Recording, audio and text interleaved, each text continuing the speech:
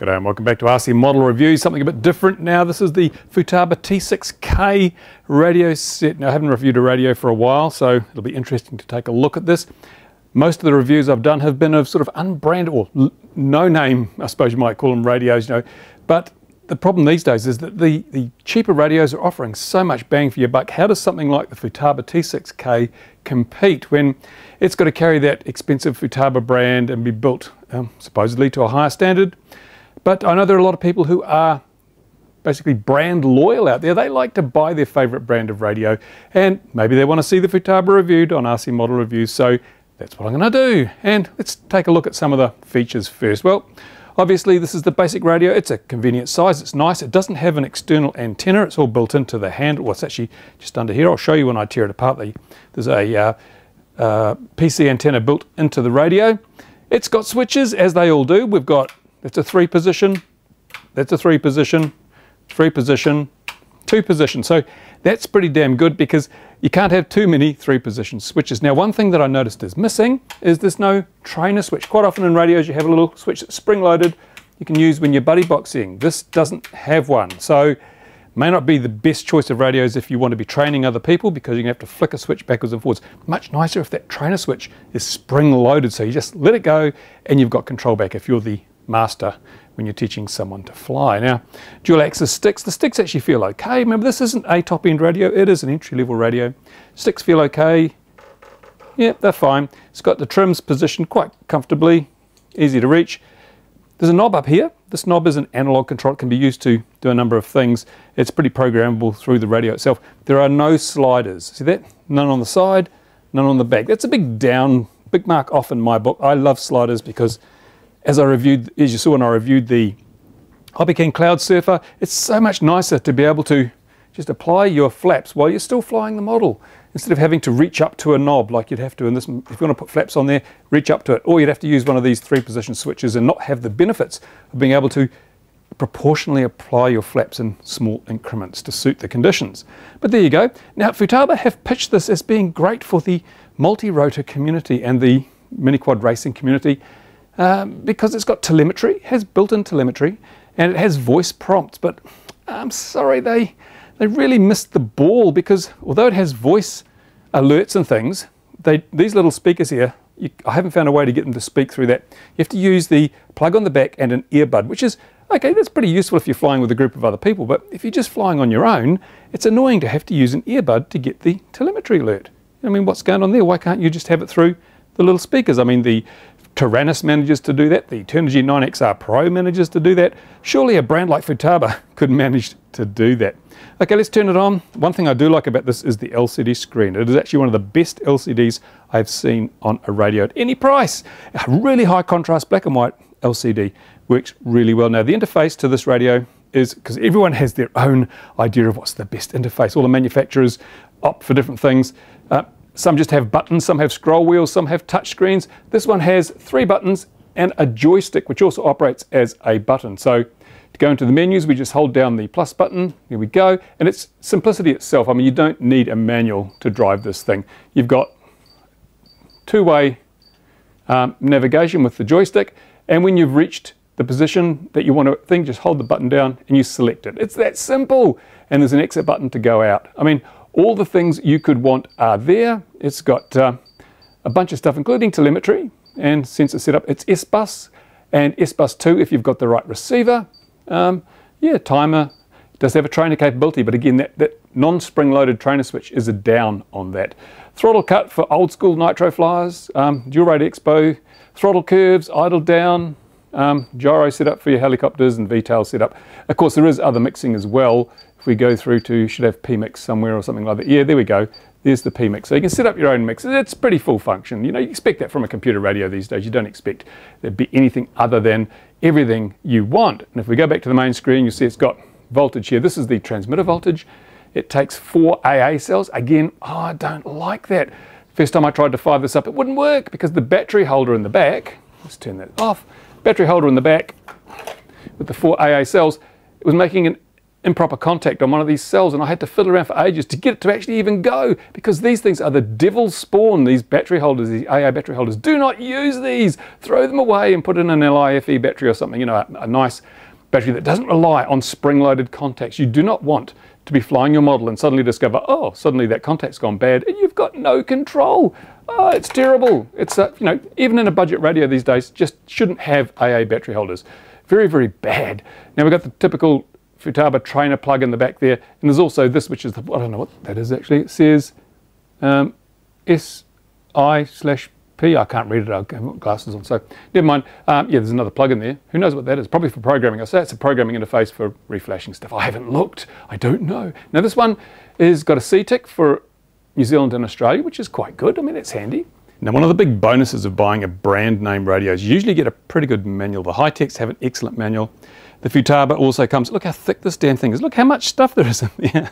Um, buy yourself a Turnigy 9X, you don't get anything. You've got to go online and find the manual. But this has a really well illustrated, very well thought out manual. It's pretty damn good. And you can see everything is detailed here. Doesn't have an index, unfortunately. Go to the back, there is no index. Um, I don't know, I kind of like an index in my manual. See, that's the back page there. Um, no index, but the contents is pretty good. If you go to the contents pages, you'll see it's broken down pretty simply. Voila.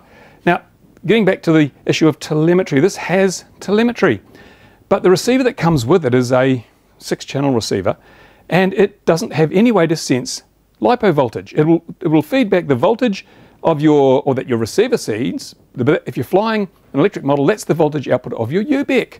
And that's just a waste of time because it's always going to be 5 volts or 6 volts, depending on what you've set it to, regardless of the state of your flight battery. So I would have thought if this is being pitched at the multi-rotor flyers, then it would have come with a sensor for measuring your LiPo battery because that's the most important piece of telemetry. But it doesn't. And even worse, um, the receiver that comes with the standard setup has no capability to measure a LiPo voltage. You can't buy an external sensor to plug in, for example. Just it doesn't have the capability. From what I can make out of the instructions, there's just no LiPo sensing ability. If you want LiPo sensing ability, you've got to buy the 8-channel receiver, which doesn't come as part of the kit. So they're selling a multi-rotor radio that really isn't really suited to multi-rotors. Oh, I'm scratching my head on this one, I really am. Um, so you've got to go and spend another hundred bucks or so on another receiver, which makes this a pretty expensive piece of gear, especially when you consider that stuff like the FrSky comes with, with the D4R2 receiver, for example, another three bucks, you've got your voltage sensor board, and you've immediately got LiPo voltage telemetry. That's simple. With the Futaba, it's so hard and so you know complex. Spend a lot of extra money. So Futaba, uh, if you're watching this video, and I certainly hope you are, because I try to offer some tips and hints to all manufacturers. If you want to pitch this at the mini quad or the quadcopter market, two things. First of all, ship it with a receiver that has built-in LiPo voltage monitoring capabilities without having to spend a fortune on extra sensors or hubs or whatever. Just something that will plug straight into the perhaps the balance port of the LiPo and then plug into your receiver and give you that on-screen information. Also, also very, very important, you have voice in here. This will this has voice alerts, but you need to be able to have them coming out the speaker. People don't want to have to wear an earbud just to listen to the telemetry. So you've got to do that. And it's no good, absolutely no good just having a vibration alert for something to, remote, to basically alert you to the fact an alarm condition has occurred and you have to look at the screen. Because if you're flying FPV, you can't see the damn screen. And if you're flying mini quads, you probably don't have an OSD. So there you go. Now what I'm going to do now, let's take a look inside. See how well this thing is built. Now some of the early low-end Futaba radios were, to be honest, a bit of a dog's breakfast. They, they played on the Futaba brand name with the higher-end products and they produced some really badly designed and manufactured kit at the low end. Let's have a look inside, see whether this is good or whether it's bad. There are just four screws holding the back on, so removing that's pretty easy. Undo the four screws and it should just slide apart. There we go, done, piece of cake. Now there's a cable in here holding something together. Let's have a look and see. That is this Cable goes onto the main board here. Let's unplug that because we want to have a better look inside. How easy is that going to be to unplug? Shouldn't be hard. It's just a each PC board. There we go. So now we've got the back of it. Let's take a closer look at what's inside the Futaba T6K. Well, it's pretty straightforward. We've got two stick units, as you can see. Now, these are very nice. They've got the wires to the sticks are well stress relieved here, so they're not going to be pulling on the actual connections to the pots. That's going to make sure this thing is reliable. Um, they're also held up here, so there's no going to be not going to be any problem with these tangling and causing stress or making the sticks hard to move. That's excellent. In fact, the build quality on this is looking pretty damn good. So much better than the early Futaba low-end radios. So much better. If the switches have their own circuit boards, which again is great because then instead of having wires just soldered onto a switch where they're likely to flop backwards and forwards and eventually fracture with vibration, they're well and truly properly supported. Now, interestingly, the RF module is a completely separate module and it's quite large, quite large. Perhaps that's because this does not only the uh, what is it, FHSS Futaba protocol, but also the TFHSS, which is the telemetry one. So this isn't a FASST radio. That doesn't have the Futaba FASST system. So in terms of receivers, you're going to be using the genuine Futaba receiver, We can use something like the FrSky Delta 8, which will work with FHSS. So there you go. It's quite good. Um, you won't be able to use your FASST receivers because it just won't talk to them. Now here's that antenna I was talking about, the printed circuit board antenna up here on the top. So that just sits up there in the top of the case, out of harm's way. There's nothing to break off, which is great because of these little rubber ducky antennas, sometimes, you know, after a while they get a bit worn and the little cable inside can even fracture. So that's a really good thing. Now the whole rest of it's on this main board here, and there's a really, really large board. That's only that large because they've obviously built in direct connection to the buttons and so forth over here. Saves time in manufacturing, saves costs. So I'm not going to take that board out because it's pretty obvious there's only going to be probably one large microcontroller chip to do all the bit crunching and a little bit of power supply stuff and support circuitry. So not much to see there. I'm happy with the build quality of this. It's actually really nice.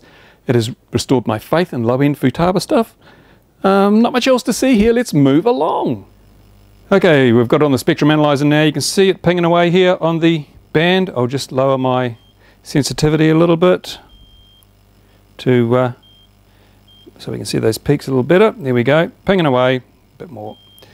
And what I'm going to do now, uh, at the moment the receiver isn't on, so this is just pinging away, it's getting nothing back, it's the telemetry protocol. I'm going to plug in the receiver and we will see what happens if it changes the band use by the transmitter. There we go, receiver's plugged in. And hear the ESC beeping, there we go, so no, that's fine. So the it's using quite a bit of the band. I'm actually going to change the um, the persistence here, the calc I think it is, and we're going to make it um, max. Here we go. So this will show you how the band is. Now it's actually accumulating all the hopping. So you can see it's actually spreading right across the band there. That's brilliant. So this is a pretty robust protocol. In fact, interestingly enough, this uses the same chipset as the FrSky. So, and the Hitec. So it's using the same chips as the Hitec and the FrSky. So you would expect it to have pretty similar performance, which is fine. It's not the FASST system, it's the FHSS, in this case the TFHSS. And that means we're getting telemetry data back. Now one thing I did notice was it's a little bit um, less output at the high end than the low end of the band. That's not a big issue. Um, that can be caused by a number of things. Might even be this, this antenna I'm using here might be slightly uh, peaky at the bottom end. I'm not really worried. It certainly seems to be filling up the band very nicely. Yeah, much better than some of the other systems we've seen on this bench. So there you go. Yeah, fine. From an RF perspective, I'm happy with that. Right, now what I'm going to do here is you can see I've taken the transmitter further away, so we're getting lower peaks. I'm going to, I've got the receiver unplugged at the moment, but I've got the plane with it and sitting right next to me. I'm going to plug the receiver in and we'll see what happens. Here we go. Plug the receiver in and you can hear the ESC beeping. Now we're getting some taller peaks starting to appear. See, these ones are taller than the ones we had before because what we're looking at here is the telemetry output of the receiver. This is the signal that the receiver is sending back to the transmitter.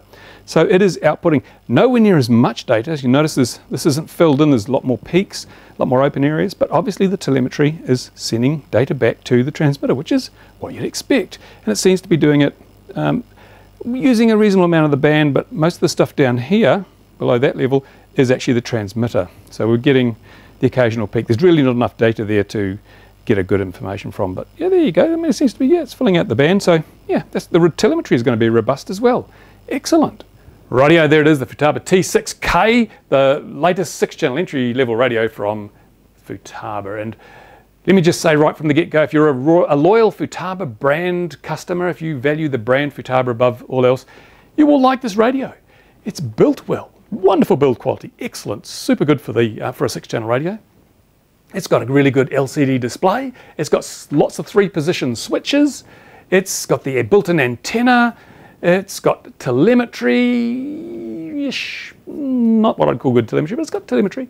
Um, it's got everything you probably want. It's got a really resilient RF link. It's not FASST. It doesn't have the FASST system, so you will have. To, if you've got a whole lot of FASST radios already, FASST receivers, you're thinking, I'll buy this and I can use my old receivers. Well, you can't. You've got to have the SFHSS or the TFHSS receivers for this radio.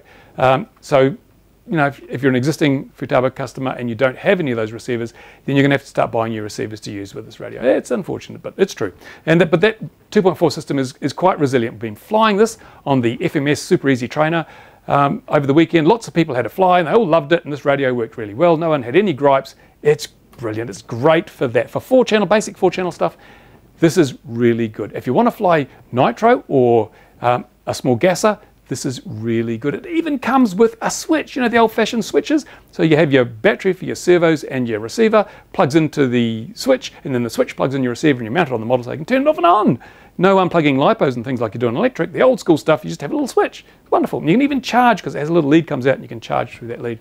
That's what this radio is designed for. Don't believe, don't believe what they say in the advertising. They say it's designed for helicopters and electric and multi-rotors and all that sort of stuff. No, it's not. Honestly, it is not. It is, it is not much more really than the old, um, was it Sky Sport or something? What was it? The, the old four-channel system they had.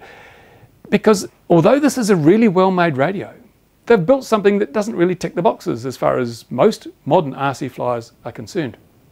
Um, and it's a bit tricky because they say, oh yes, you know, it's it's got a multi-rotor mode. It's got glider, fixed wing, helicopter, and multi-rotor model selections you can make in there. But the multi-rotor one, it has throttle delay. Uh, uh, what use is that? It doesn't have anything that's really multi-rotor related. It, it, so it, all it does is if you, if you choose the multi-rotor model type, it just disables a whole lot of the functionality in the radio. I guess that's easy if useful if you want to just set it up easily, but it seems like it's a bit of a sales gimmick to say multi-rotor mode. You know, oh, you're, you're Hitec and your JR have only got three modes. This has got four. Nah, it's a bit of bit of marketing crap, I'm afraid. Um, the other thing is it says it's got telemetry. Telemetry so it'll monitor your voltages. Yes, it will if you're flying a gas plane or a nitro plane and you're only looking at that receiver voltage, receiver battery voltage. But if you're flying a multi-rotor or an electric helicopter or an electric fixed wing, I'm sorry, but out of the box, it won't monitor your LiPo voltage. Uh, in fact, if you want to monitor your LiPo voltage, the receiver that comes with it is useless. So you've got to go out and buy a new receiver. Over 100 bucks, I think, the price of the 8-channel receiver. And then you've got to buy a telemetry lead to plug that receiver into your LiPo. So your entry-level 6-channel radio is becoming damn expensive just to do the stuff that some of these cheap Chinese radios do out of the box.